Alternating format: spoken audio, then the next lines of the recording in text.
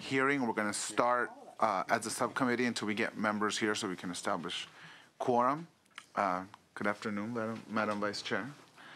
Um, I'd like to, uh, we'll be dispensing with three bills today, all of which are part of the second extraordinary session. We also have one bill that is still on file that will go directly to the floor under 28.8.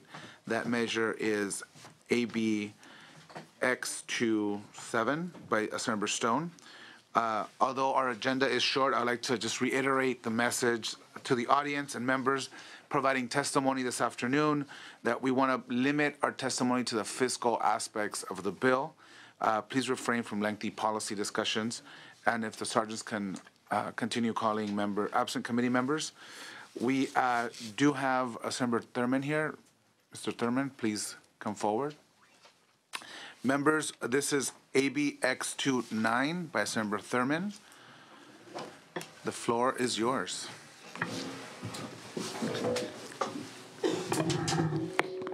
Thank you, Mr. Chair and members. Um, As stated, I'm here to present AB 2X9. Uh, This bill would ensure that all of our campuses, uh, public schools statewide, are tobacco-free, including from e-cigarettes and smokeless tobacco. Um, We have over 1,200 districts that are not considered tobacco-free and largely need to have signage and policies that dictate that they'll be tobacco-free, and that's where the primary cost related to this bill is focused. The estimated cost is about $230,000, primarily to support signage for all of our campus, a small cost that we think as it relates to keeping our kids healthy and safe from addiction and from other illnesses. And with that, we would respectfully ask for an aye vote. Thank you. Witnesses in support. Good afternoon, Lindsay Freitas with the American Lung Association in California here in strong support. Um, we feel that this bill is one of the number one ways to really ensure that youth do not pick up the tobacco. Um, schools that enforce 100% tobacco-free policies actually have lower smoking rates, and this directly correlates to lower healthcare costs down the road. So we strongly support this bill. Thank you. Additional witnesses in support. Alicia Sanchez, representing the California Medical Association, in support. Gregory Kramer, representing Planned Parenthood Affiliates of California in support. Anthony Wright with Health Access California in strong support. Megan Allred with the California Dental Association in support. Tim Gibbs, American Cancer Society Cancer Action Network in support. Kula Koenig, American Heart Association, American Stroke Association in support. Erin Gable on behalf of First Five California in support. Jody Hicks on behalf of the California Academy of Family Physicians in support. Any additional witnesses in support? Witnesses in opposition of the measure? Just fo- follow line here. Uh, Finance. Uh, Matt Almy, Department of Finance. Um, We do not have a position on this bill. Uh, The bill could create a reimbursable state mandate of at least hundreds of thousands of dollars, Proposition 98 General Fund, by requiring schools to display signs stating tobacco use is prohibited at all school property entrances. Thank you. We do have a quorum. We're going to establish that now. Secretary, please call the roll. Lara? Here. Lara here. Bates? Here. Bates here. Beall? De Leon? Hill? Here. Hill here. Mendoza? Here. Mendoza here. Nielsen? Thank you. Any comments or questions from committee? Seeing none, we have a motion by Senator Mendoza. Uh, Secretary, please call the roll. The motion is due pass to the Senate floor. Lara? Aye. Lara, aye. Bates? Beall? De Leon? Hill? Aye. Hill, aye. Mendoza? Aye. Mendoza, aye. Nielsen? We're going to keep that open uh, to allow our absent members to add on. Thank you.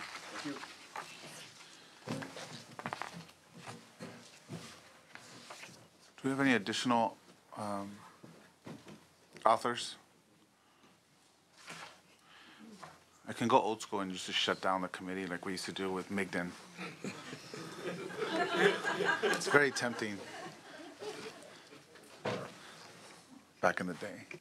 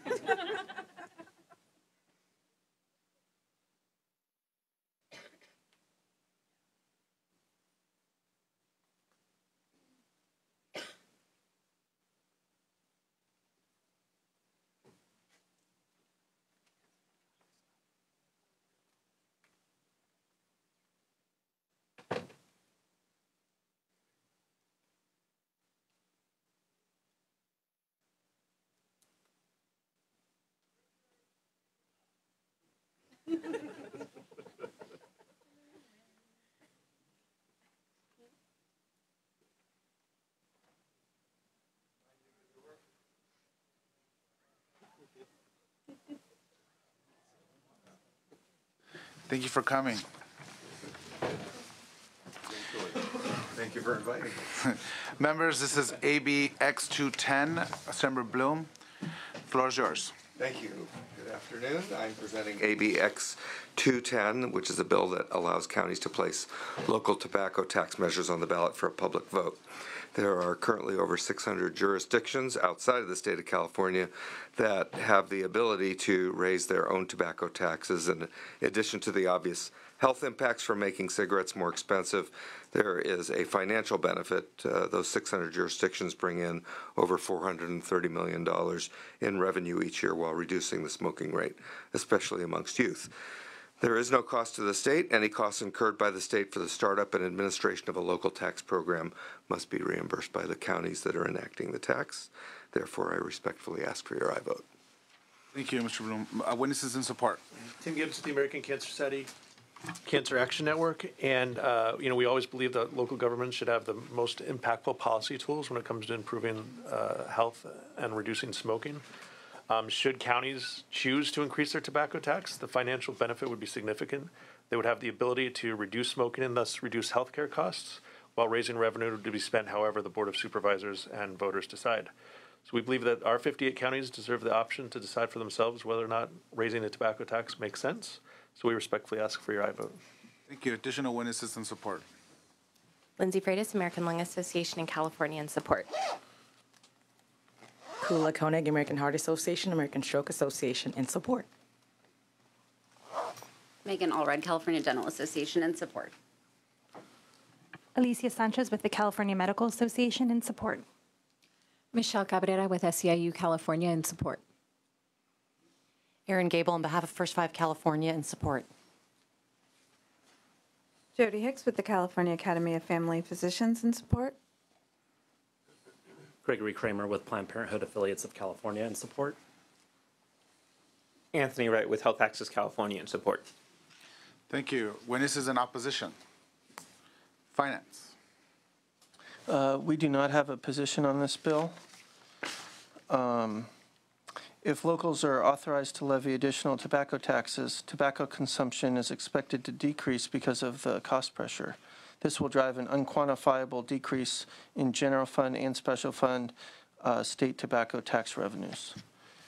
In addition, uh, additional costs to the uh, Board of Equalization uh, are expected uh, in terms of the need to redesign its current IT system, which is based on uniform statewide tax rate. While these costs will ultimately be recovered through local reimbursements, the initial startup costs may need to be funded within BOE's existing resources or through an additional general fund appropriation. Thank you. Comments or questions from committee? The motion by uh, Sen- Senator Hill. Secretary, please call the roll. Motion is due pass to the Senate floor. Lara? Aye. Lara, aye. Bates? No.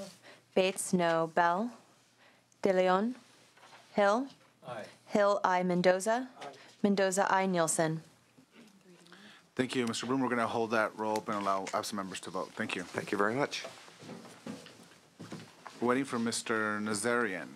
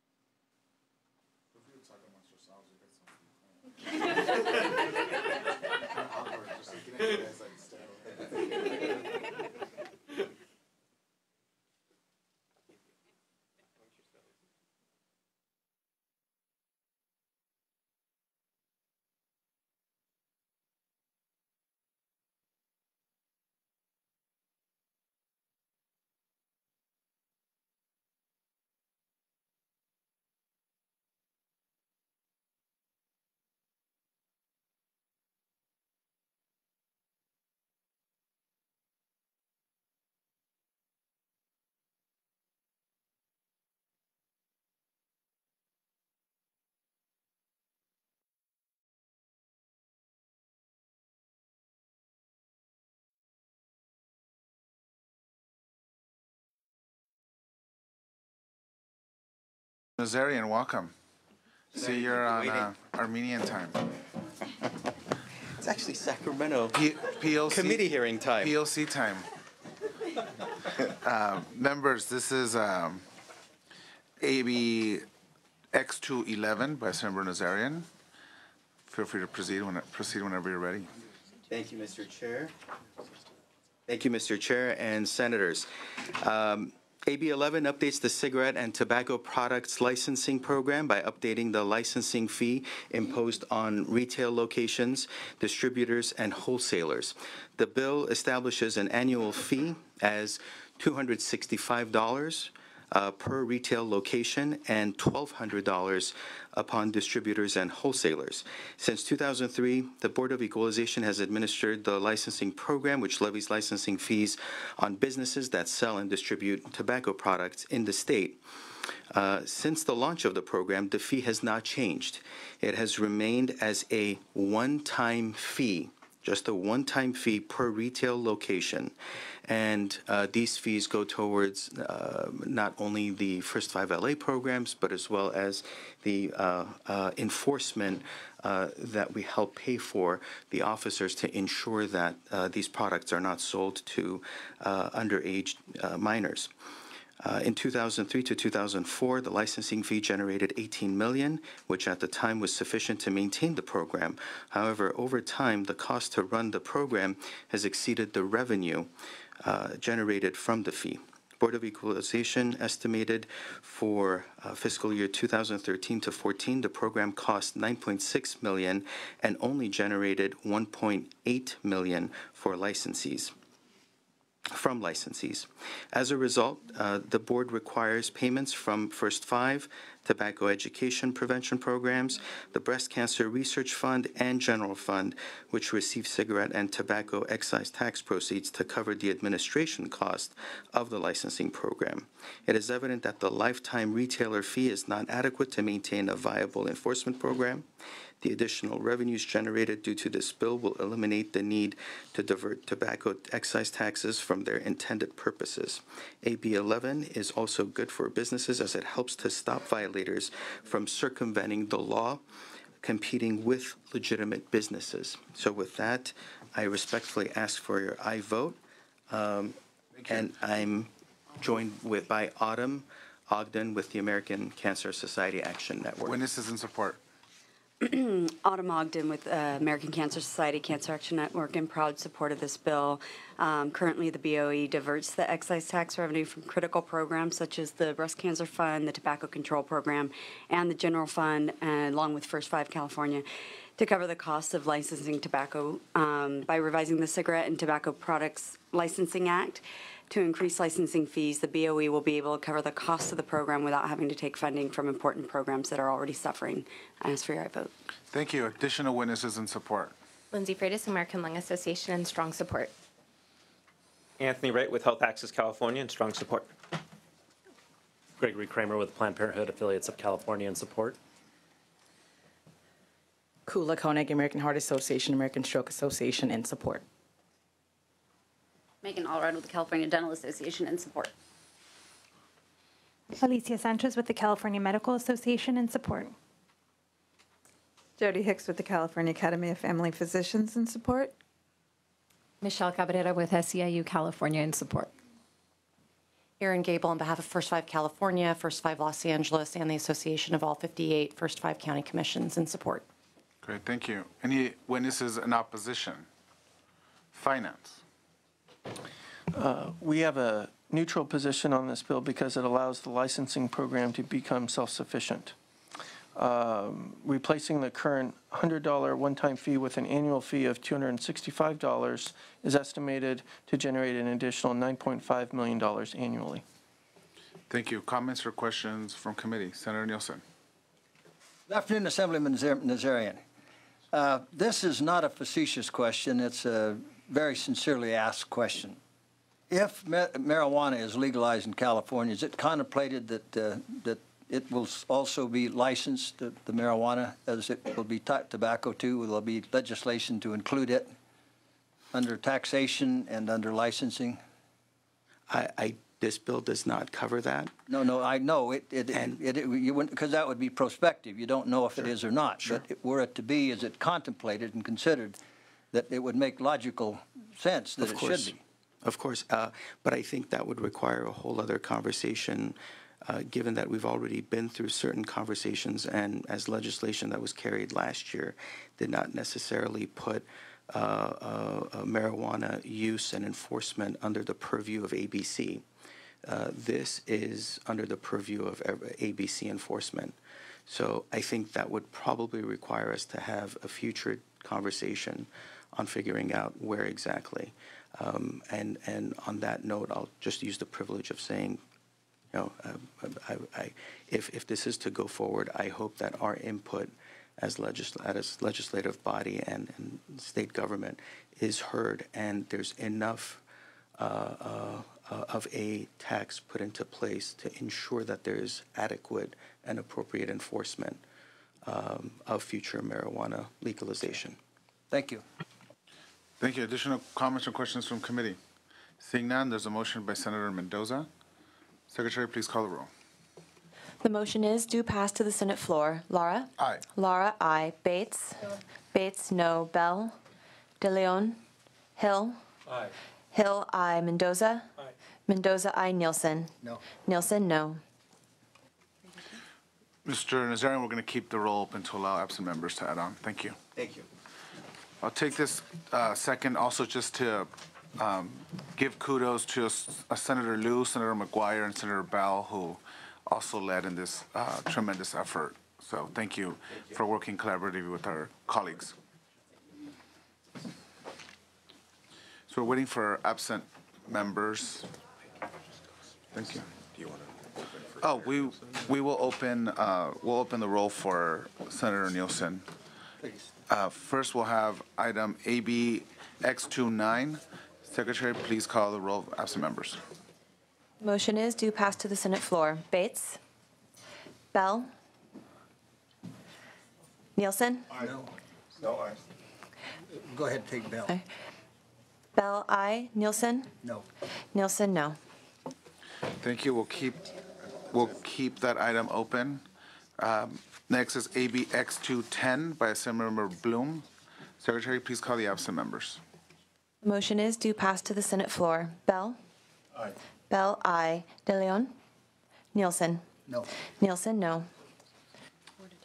Four to two, we'll keep that item open. The next item is AB X211.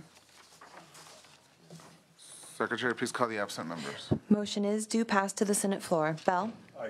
Beall, aye. De Leon? Four to two, we'll keep that item open. We're waiting for pro tem. Thank you, Mr. Chairman. Thank you, Senator.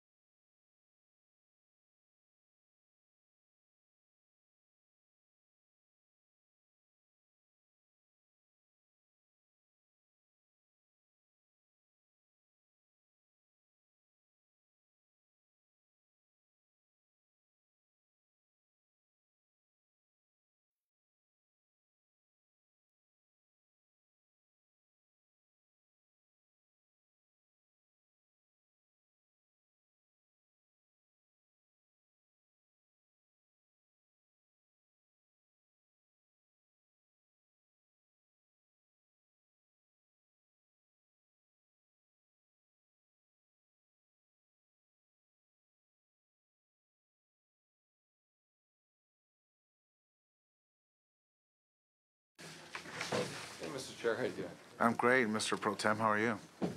We make this, it's gonna become a habit. Let's make sure this doesn't become a habit, Mr. Pro Tem. Um, We're gonna open up um, the three items, so we can allow our Pro Tem to add on. The first item is AB X29 by Senator Thurmond. Secretary, please call the absent members. Bates. De Leon. Aye. De Leon, aye. Five to two, that item is out. Next item is AB X210 by Senator Bloom. Secretary, please call the absent members. De Leon. De Leon, aye. Five to two, that item is out. Next and final item is AB X211 by Senator Nazarian. Secretary, please call the absent members. De Leon. De Leon, aye. Five to two, that item is out. Oh, we have a just point of clarification, AB X29. AB X29 is actually five to one. That item is out. That concludes our appropriations hearing. Thank you.